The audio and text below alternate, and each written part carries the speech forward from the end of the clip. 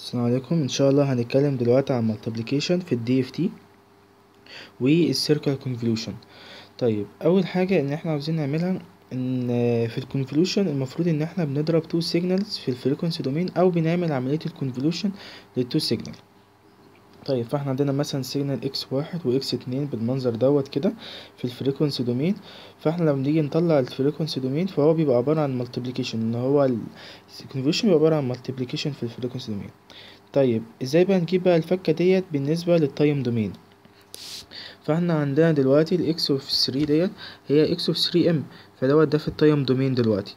فهو عبارة عن واحد على n بال summation من a k بزيرو لحد n minus واحد ودوت الاتنين في ال frequency domain دوت اللي هو بدل k 3 في k دوت هنخليها k واحد و k اتنين. إن هو كأنهم الضرب بتاعهم هنا دوت كده الشكل بتاعه إيه؟ بالنسبة إن إحنا بنعمل inverse discrete Fourier transform طيب بعد كده لو إحنا فكينا ال x بواحد فيطلع لي في الآخر اللي هو المعادلة بالشكل بتاعها دوت اللي هو بال discrete Fourier transform وبرضه ال discrete Fourier transform بتاع ال x of 2 فيطلع لي برضه بالشكل دوت. تمام؟ طيب بعد كده ممكن إن أنا آخد اللي هو السميشن دوت والسميشن دوت وأطلعهم إيه بره بالشكل دوت وبعد كده آخد السميشن اللي هو الداخلي بتاع كل الحاجات ال exponential دوت فيطلع لي في الآخر exponential j 2 pi k m minus n minus l على ال n طبعا دوت بعد كده لما نعمل السميشن دوت نفكه بعد كده هنقوم ضاربينه في دوت بعد كده نعمل السميشن دوت برضو سميشن سميشن يعني كأنهم triple summations يعني. تمام. طيب بعد كده هنسمي اللي هو الجزء ال exponential دوت الجزء ال exponential دوت في ما عدا ال k ما عدا اللي هو المعامل بتاع ال k هنسميها إيه؟ فالسميشن دوت في الآخر خالص هيبقى شكله عامل بالمنظر دوت. ال summation بتاع a k من n minus واحد ل k بيساوي زيرو. طيب ال summation دوت بال power series هيطلع لي في الآخر المع... القيم القيمة بتاعته بتساوي ديت. لا إما بتساوي n لو ال a بتساوي واحد أو إن هو بتساوي لو يعني كأنهم ضربوا بعض أو كأنها بتساوي اللي هو المفكوكه ديت لو ال a ما بتساويش واحد. طيب إحنا هنلاحظ إيه لو إحنا جينا نقارن اللي هو النتيجة بتاعه ال power series ديت بقيمه ال exponential دوت؟ هنلاحظ إن عند لما ال a إن إحنا لو عاوزين ال a بتساوي واحد فديت الحالة دي بتحصل لما بيكون القيمة بتاعه ال m minus n minus l ديت قيمة multiples of n. يعني مثلا دلوقتي لو إحنا عندنا 2 pi على يعني مثلا ب 2 pi n أو 2 pi 2 n أو 2 pi 3 n فده في الآخر خالص ال exponential هيطلع له إيه؟ قيمته بواحد. ففي الآخر خالص هيطلع إن أنا عندي القيمة بتاعتي ال a بتساوي واحد في الحالة ديت. طيب ال a power n بتساوي واحد إمتى؟ ال a power n بتساوي واحد لما تكون القيمة بتاعت ال a أي قيمة تانية بقى غير الزيرو. بمعنى إن إحنا دلوقتي لو مسكنا ال a وعوضناها هنا ضربناها في n ففي الخل... في الخاص ال exponential دوت هيطير في الخاص هيطلع لي إن أنا عندي ال exponential بتاع j 2 pi m minus n minus l بس ال component دوت دايما هيطلع لي قيمة integer ففي الآخر خالص هيطلع لي إن دايما القيمة دي كو ال... مش اللي هي القيمة بتاعت a power n هيطلع لي قيمتها a بتساوي واحد. تمام؟ طيب. فبالاستنتاج بالحاجات ديت نقدر نقول إن في الآخر خالص ال power series ديت بتساوي ال n بدل بقى ال a بتساوي واحد اللي هي تعتبر multiples بتاعت ال m ال l اللي هو تاني يعني اللي هو ال power series ديت المفروض بتاعها هيبقى عبارة بتساوي ال n. في حالة إن ال l بتساوي m minus n plus ال multiples بتاعت ال n. فالقيمة بتاعتها ديت إن هي تكون دايما إيه حاجة integer تمام؟ تمام sorry. فدلوقتي هنلاحظ إن هو بيساوي ال circle convolution بتاع ال circle قصدي ال circle بتاع الام ماينس الان بالنسبة للان هو فاكرين لو إحنا كنا شرحناها في في الفيديو اللي فات دوت. تمام. ففي الآخر هتلاقي دوت سيركل يعني في حالة إن ال بتساوي السيركل بتاع الام ماينس الان سيركل الان فهيطلع لي دايما القيمة بتاعة الباور بتاعتي بتساوي ان طبعا في حالة برضو إن البي طبعا أنت مش كده. ديت أو إن هي هتساوي زيرو اذروايز ليه؟ لأن إحنا لو شفناها في المعادلة ديت في الآخر خالص إن الاي باور الان دايما زي ما إحنا عارفين طالما ال a ما بتساويش زيرو ففي الآخر خالص ده هتساوي واحد. ففي الآخر خالص المفروض ده كله هيبقى إيه بزيرو. طيب لو جينا بقى عوضنا الاستنتاجات ديت في المعادلة اللي فوق ديت هنلاحظ إن إحنا لو مسكنا ال power series ديت وعوضناها هنا فدايما هيطلع لي إن القيمة بتاعتي بتاعت ال power series ديت بتساوي n في حالة إن اتحقق اللي هو إيه ال circle دوت في حالة إن l بتساوي ال circle بتاع ال M minus ال N في ال circle بتاع ال N. تمام؟ أو بتساوي زيرو otherwise. فأنا طبعا هاخد الحالة اللي هي ديت. فأنا أمسك ال وأعوضها هنا بالقيمة ديت وهضرب في ال N فال N ديت هتروح مع ديت. تمام.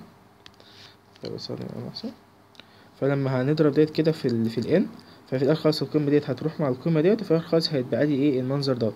اللي هو لو نزلت تحت هيبقى إيه المعادلة ديت. المعادلة ديت برضو لو هنبص عليها كده هنلاقي إن هي x واحد في x اتنين في ال circular بتاع ال N اللي هو لو إحنا فاكرين في المحاضرة اللي هي اللي فاتت كان ال circle بتاعي لما اللي هو البتاع ديت لما كده وكأنها بتلف. تمام. فدوت بنسميه circle convolution تمام. وبرضه هنلاحظ برضه إن لازم بوس إكس في واحد وإكس في اتنين يكون ليهم نفس ال size طيب خلينا طيب نخش على مثال برضه عشان يبقى هتوضح الدنيا ديت. فأنا لو عاوز أعمل circular convolution ل x و... ل x و h. x بتساوي اتنين واحد واتنين واحد. وإتش بيساوي واحد واتنين تلاتة أربعة. فلو عملتها بالشكل ال circular دوت هيطلع لي x of n بالمنظر دوت. وال h of n بالمنظر دوت. بعد كده المفروض إن أنا هجيب لو أنا همشي بالمعادلة ديت المفروض إن أنا هجيب h minus ال n فال h minus of n هيبقى كأني آه مسكت وقمت لفيت بدل لما أنا مثلا ديت كأنها zero واحد اتنين تلاتة. لا دوت هيبقى zero واحد واتنين وتلاتة. يعني الترتيب بتاعي إيه؟ هيبتدي إن هو يختلف. فنلاحظ إن إحنا الواحد بقت هنا الأربعة بقت فوق أو الاتنين بقت هنا وبعد كده تلاتة في نفس المكان والأربعة بقت فوق. بعد كده لما هبتدي بقى إن أنا أجيب ال h واحد minus ال n هيطلع لي إن أنا كأني بلف circle كده. وال two هيطلع لي إن أنا بلف كده والتلاتة هيطلع لي إن أنا بجيب كده. طيب في حالة بقى إن أنا عاوز أجيب ال y بيساوي واحد.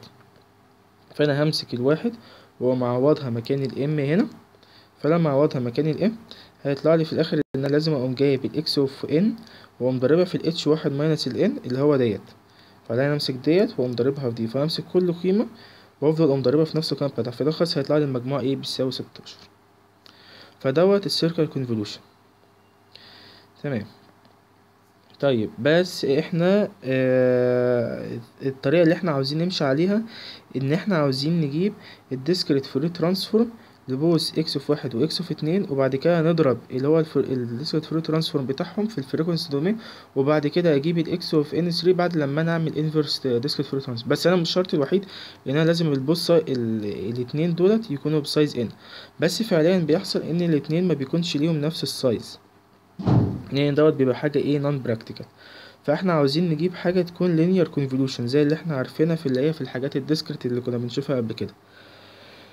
طيب فاحنا عاوزين نعمل بقى الحاجة اللي هي بنسميها ان إحنا ن force ال circular convolution طيب الفكرة بترجع على أساس إيه؟ الفكرة بترجع ان أنا لو هعمل linear convolution أصلا ل x of n و h of n والاتنين ليهم size مختلف ديت ب l وديت ب m فلو عملت convolution اللي هو linear convolution هيطلع لي في الآخر ال y of n ال size بتاعها n بتساوي l بلس m ماينس الواحد فده بيكون ال size بتاع ال y. تمام. طيب بس دوت بيكون حاجة لو في ال continuous زي مثلا لو أنتوا فاكرين في اللي هو ال discrete time Fourier transform فهيطلع لي الحاجة بتاعتي في ال continuous بس أنا دلوقتي عاوز أخليها discrete Fourier transform فعشان أخليها discrete لازم لو هاجي أعمل sampling لل y بتاعة ال k اللي هو ال frequency بتاع ال y لازم يكون ال minimum samples بتاعته اللي هو ال n اللي هو بيساوي مجموع دوت زائد مجموع دوت. فدوت اللي هو ال minimum size علشان ما يحصلش time aliasing لما أجي أرجع تاني ال y of n فالفكرة رجعت إن أنا طيب طب أنا ممكن أضيف zeros لل x of n وال h of n وأقدر عن طريق كده إن أنا أعمل لهم sampling بال n فلو عملت الحركة ديت اولا هي مش مش هتبوظ ال signal ليه؟ لأن هي هتزود لي أصلا ال resolution بتاع ال frequency بتاعي في ال frequency domain لأن زودت عدد ال samples أصلا على ال signal الطبيعية بتاعة ال x وال h لأن كل حكاية أنا زودت ال zero هات بس أنا زودت ال sampling بتاعي.